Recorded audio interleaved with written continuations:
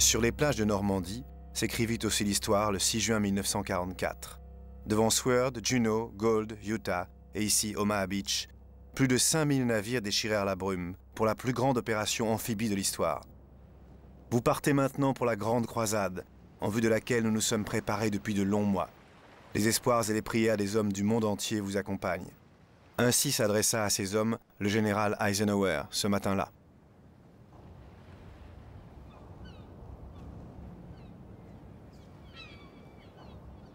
Sous le feu d'enfer des défenseurs allemands, au milieu des champs de mines, devant les blocos cyclopéens, les soldats américains tombèrent par milliers, et on frôla le désastre total.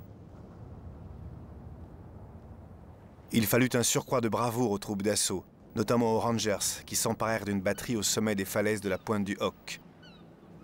Leur héroïsme fut tel que ce site a été concédé à perpétuité aux États-Unis.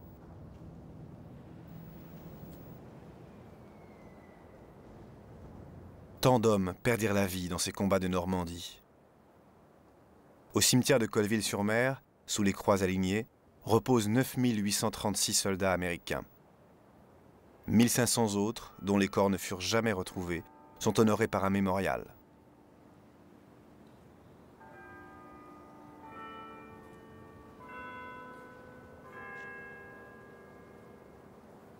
Du cimetière, en contrebas, on aperçoit Omaha Beach.